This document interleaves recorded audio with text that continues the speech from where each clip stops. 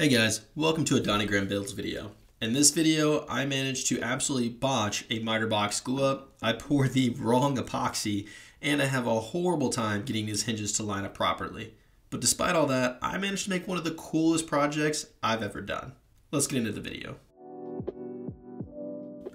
So, when I told my wife I wanted to build a whiskey cabinet, I got laughed at, which I thought was rude. Then she reminded me that I don't even like whiskey which is true. So maybe her laughter wasn't totally unfounded, and maybe a whiskey cabinet isn't the best idea for me.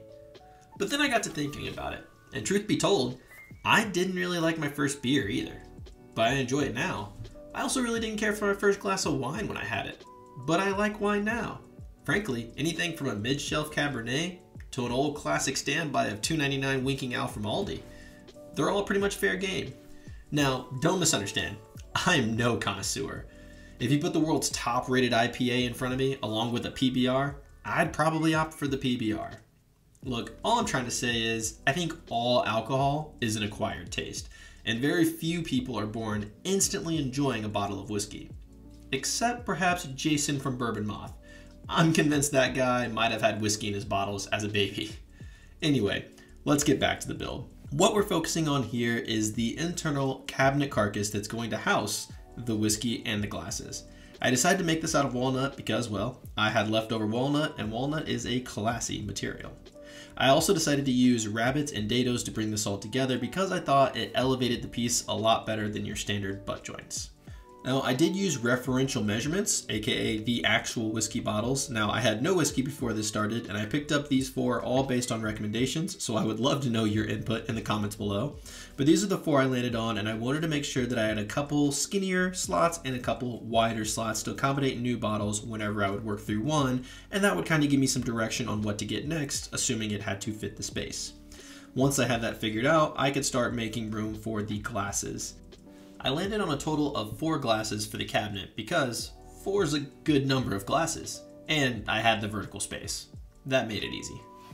Something I realized during the glue up is rabbets and dados really make the glue up a lot less stressful. Everything comes together pretty square. It does take a handful of clamps, but overall it is a way better process than trying to use miters, which you'll see the headaches we ran into later. But for now, since we're on a YouTube video, we can skip forward to when the glue is dry and we can take a closer look at our box. So I'd say we're due for an update.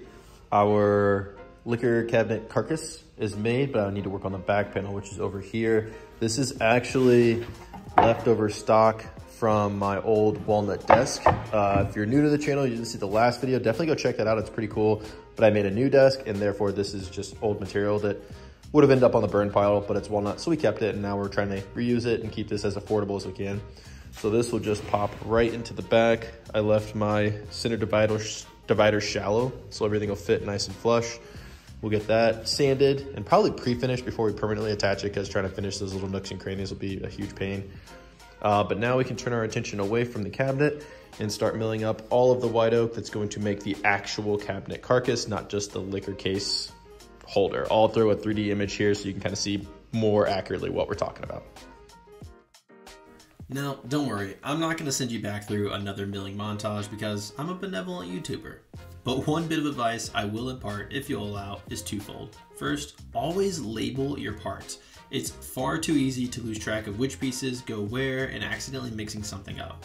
Second, when you're making a paneled box, wrapping the grain is obviously the pro move and what you'd like to do, but if grain wrapping isn't an option due to material restrictions, which is the case that I'm in, at least cut all of your boards that are going to make up your panel to the same widths. Maybe this is a known ideology or simply an assumed practice because most woodworkers who are building boxes are wrapping the grain, and when you wrap the grain, that automatically assumes that your boards are going to have the same width but I can't tell you the number of times I've been building a box and I don't have enough material to wrap the grain, but I cut the individual boards to different widths to make up my full panels, and the glue up just comes together looking goofy.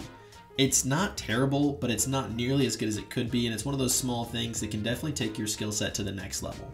Let's cut to a quick animation for those of you who are more visual learners. I mean something like this, where all the boards are clean, they line up, the lines continue around the corner to the next side of the panel. and avoiding doing something like this, where the panels are the same length, sure, but the individual boards that make up the panel are kind of here and there, a little bit big, a little bit small, just to meet the end result.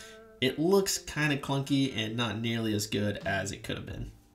In my case, with using quarter sawn material, the grain is moving so much, with good glue joints, the differences in any board widths are nearly impossible to see. However, if you were using a face grain board with that natural cathedral style grain, these differences would really jump out at you in a not so great way. Something to keep in mind. With the panels made, I set my table saw and I ripped all four to the exact same width. Then I cross cut the uneven sides away. And finally, I started in on cutting my 45s in order to glue up these miters. And that's when everything went south. But I won't spoil it for you. Please, go ahead and enjoy all of this beautiful prep work, the attention to detail, and the nearly epic failure that follows.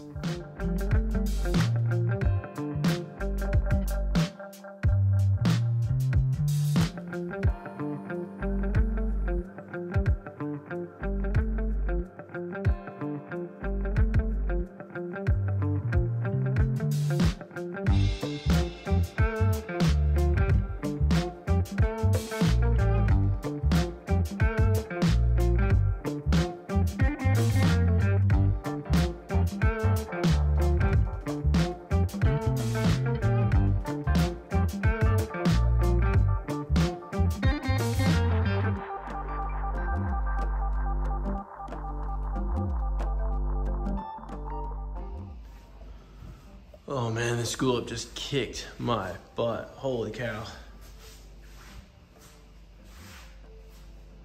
It's like these little corner clings only do so much. If you have any kind of bow in your board or misalignment, then it, it they're cute, right? They're just a suggestion.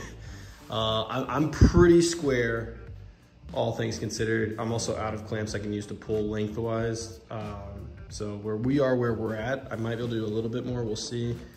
Uh, I think one of the issues was because I got these, these were totally flat panels, but I just installed a mini split so I can heat the shop when I'm out here working. But the issue is that changes the ambient temperature in the garage back and forth and back and forth and back and forth. And that I think is gonna cause a problem with the wood adjusting to it. So I'm not really sure the best way to navigate that other than to not use it, which defeats the whole purpose of installing that. And it's a huge quality of life improvement. So I, yeah, we're gonna figure out what to do there. But anyway, we're boxed up. We're looking pretty boxy uh, and we're moving on. So, to no one's surprise, the cabinet ended up out of square. Thankfully, not by a whole lot. So, the gambler that I am, I thought maybe if I clamped the corners and very slowly and carefully crank them tight, I could ease out some of that out of squareness. Now, I would not be overstating it if I told you I was sweating bullets during this wild, arguably stupid idea. But I thought if I could pressure those panels into square, I would be able to add the vertical partition and the horizontal shelf in such a way that it would lock them square.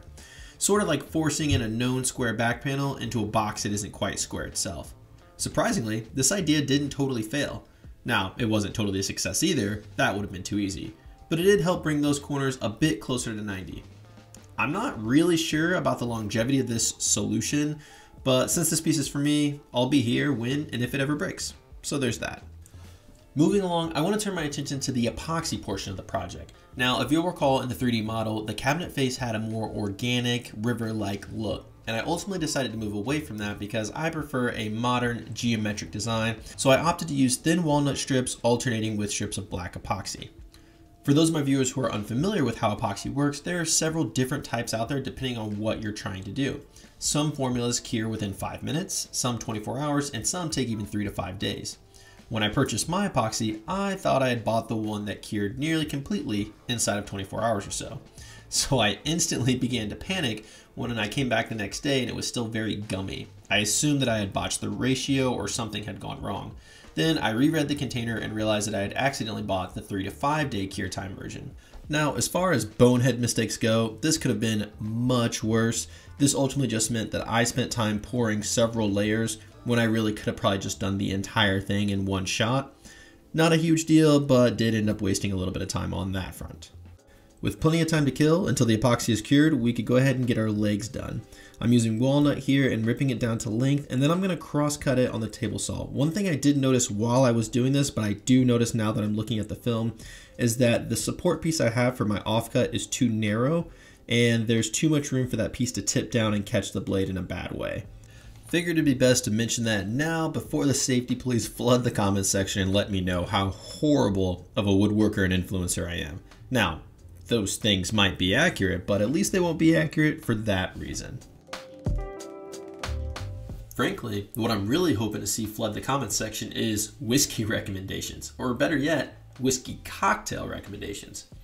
I definitely don't want to sound like a poser, though that ship may have already sailed, but I love the idea of a home office that doubles as a modern whiskey lounge. Alright, but go with me here. Imagine finishing up a stressful workday and having a nice glass of whiskey only a few steps away. Not to mention the insane level of satisfaction when pressing the lift kit remote and seeing the cabinet function. But I don't want to get too far ahead of myself. But I'm picturing something between Nick Miller from New Girl mixed with James Bond. I'm fairly certain that's the ideal combination of personalities. As you've noticed so far, I've really kind of skimmed past the leg construction, and that's because I've made these legs before. I called them out in detail in my bookshelf video, and they were actually originally pulled from either Chris Salomone or Johnny Brook. I'm not really sure who built their cabinet first, but they both have bookshelves that have this leg design, and I made the same bookshelf with the same leg design, and I really like it. So I incorporated it into this whiskey cabinet. Now, I'm sure you're wondering what's actually happening on screen, so let's dive into that. If you're a woodworker or honestly any kind of quote maker, then you're likely accustomed to running into your own fair share of project setbacks and unforeseen obstacles. In my case, that's typically in large part due to my inability to properly plan ahead. So what you're seeing now is my mediocre attempt at solving the latest project issue on the fly.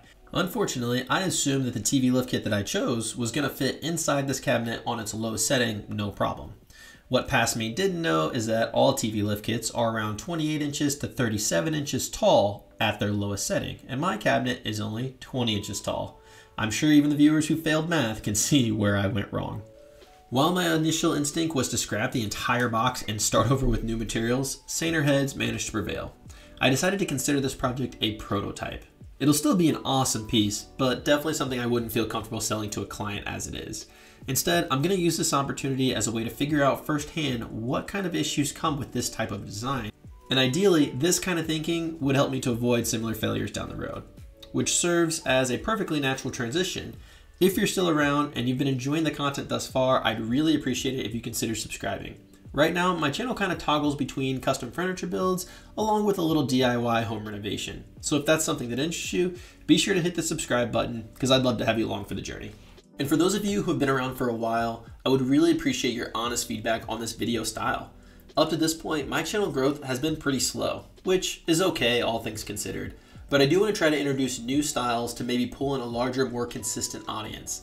That's why this video format has really shifted away from the step-by-step -step narration of what's happening on screen and is focusing more on what I have that no other YouTube does. Myself. It might sound a bit egotistical to think that my personality alone could convince more people to subscribe and invest in my channel. But the reality is, there are hundreds of woodworking YouTubers, most of which could probably build this cabinet a right side better than I am. So I'm going to try to redirect the channel to share a little bit more about my own thought process and why I choose certain builds over others and do a better job of just telling the story. So all that said, I would honestly love some of your feedback on what you enjoyed and even what you didn't like as much. It's all valuable and even from the trolls. As I told my last spirited commenter, it's all engagement for the algorithm. So let's keep chatting. But diving back into the video, right now I'm just getting the legs attached. I had a few people ask me in the bookshelf video if these legs were sturdy enough or strong enough to hold the bookshelf if I had any problems long term. And these things are stout. They're made out of solid walnut. They're an inch and a half by an inch and a half. And I have three screws in the front leg and the back part of the leg in order to keep everything secure.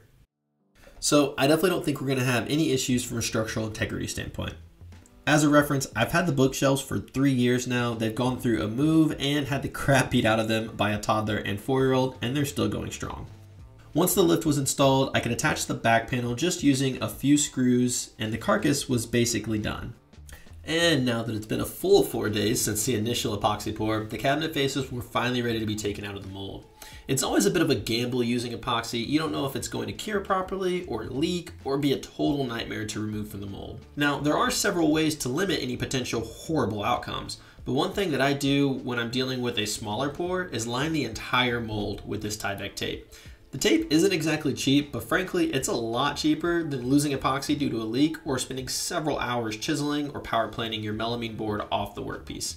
Thankfully, in my case, the cabinet doors popped out without much fuss at all and the epoxy was completely cured. Thank goodness. Now it's time to take a look at the fit, and unfortunately another issue rears its ugly head. Or actually, I suppose this is a continuation of a previous issue.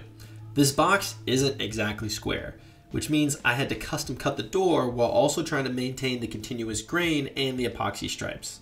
This was a major pain, but I'll let past Donny explain what was going on in the moment. For the drama. Alright, so we're almost on the home stretch. I'm running into an issue here, so I wanted to have a pull-out drawer at the top. For no in particular reason, it just seemed like it'd be a good feature, an extra little drawer to put some stuff in. I find that the door with these particular hinges will catch. If I close it a little bit, it'll clear and open. So I'm not functionally worried about that. Again, if this was a client piece, I would adjust it differently. But since it's for me, it, it would be fine.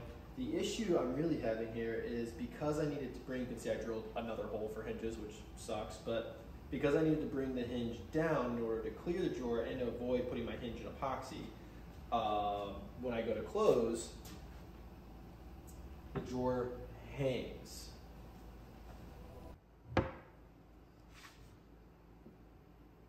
So I think what I'm gonna have to do is to take this hinge, the top hinge here, and move it up past where I originally had it, because I had it on the top one to begin with, and I still hit the drawer box. I'll have to move it past that and up higher in order to prevent, to give it more stability up here to prevent the door from sagging. And I'm wondering if the walnut that I used as little spacer blocks in here to keep my stripes evenly spaced will be enough to drill into and not crack any epoxy. I'm gonna give it a try. This could go horribly wrong, um, but we're gonna send it and we'll see how it turns out.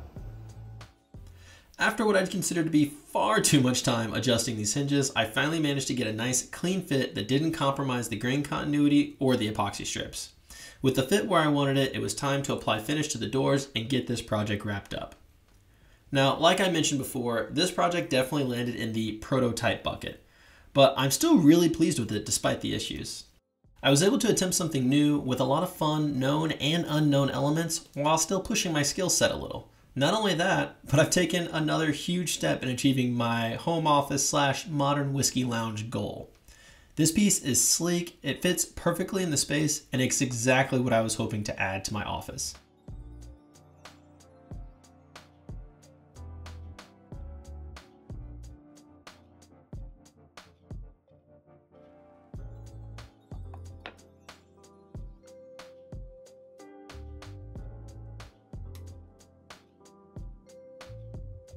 As always, I'm always open to feedback in the comments, so feel free to let me know what you think of the cabinet, what you think of the new video format, and most importantly, what your go-to slash favorite whiskey is.